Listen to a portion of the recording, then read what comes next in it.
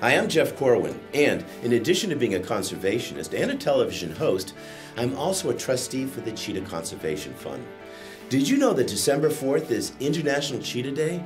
The cheetah is not just the world's fastest land animal, it is an icon of speed and grace, and it is unfortunately racing against extinction.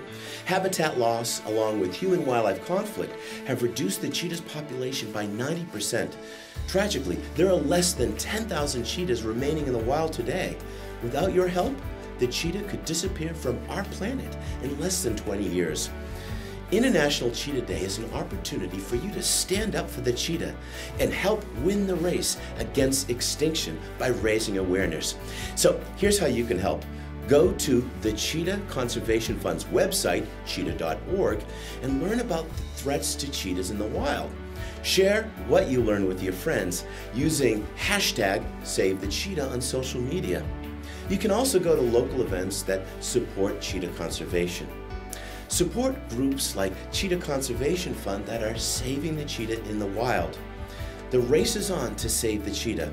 With your help, we can win it.